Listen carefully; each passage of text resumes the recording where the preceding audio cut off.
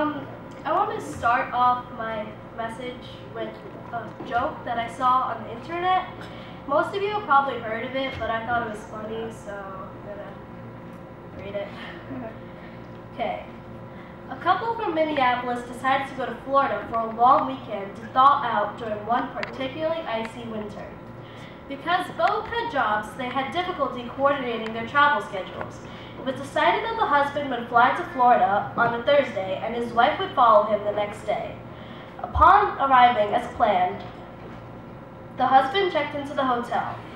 There he decided to open his laptop and send his wife an email back to Minneapolis.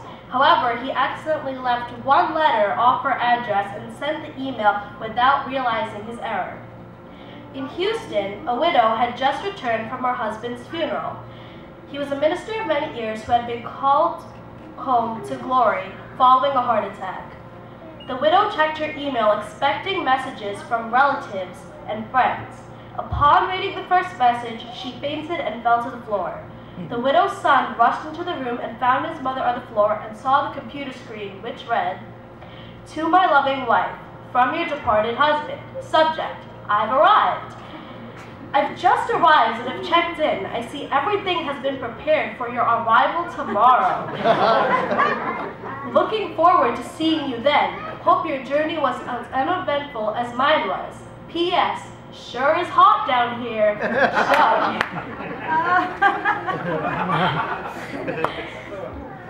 okay. So praise the Lord. It's so great to be standing here before you all today. I thank Pastor for letting me stand up here and speak, and happy Pastor's Appreciation Day.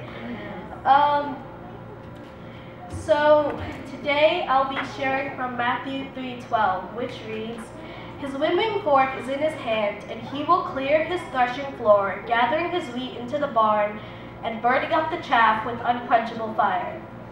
So what does this mean? Well, from what we read, it's about a farmer who is planting wheat. And you have, if you have done any kind of farming or know of anyone who does farming, then you would know that not every fruit or vegetable, or in this case, wheat, turns out as you hope. I mean, I know. My grandparents have a garden in their backyard, and not every tomato and paprika and patablinga turns out how you want it to. I mean, like, no, the curries and todes are good and everything, but not every vegetable and fruit and wheat ends up perfect. So in this verse, the farmer is separating all the good wheat from the chaff. This basically refers to us being the good wheat, and all the chaff, which is like the non-believers, are basically thrown into the fire.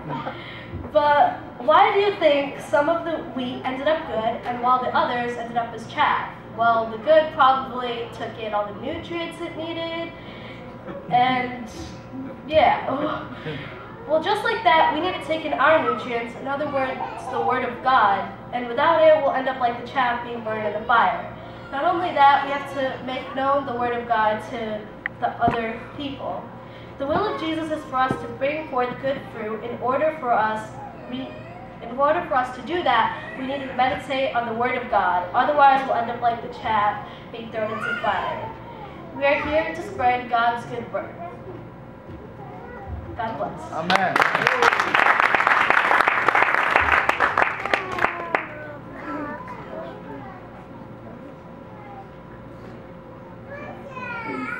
Well, that. Well, that concludes our fifth annual Sunday School anniversary. Can we give a round of applause to all the students who worked very hard? And not only that, we'd like to thank all the teachers who taught their kids the whole entire year, who had the patience, and who came on time, and who um, dedicated at least 30 minutes on Sunday to teach them. So can we give a round of applause to them? And all the substitute teachers too. And we have to most importantly thank our principal, Samson Uncle. He's the, one that put, uh, he, he's the one that chose the teachers and told them to be on time, and it, and so now we have our, I guess everyone's all the small kids' favorite part, the awards. So I'd like to um, invite Pastor to come up here and hand, hand out the awards to everybody. I want the person. Are you?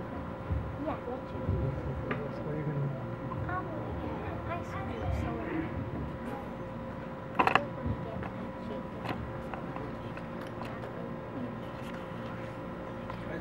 You can read, uh, You call out the You name. call out the name. name and he will give.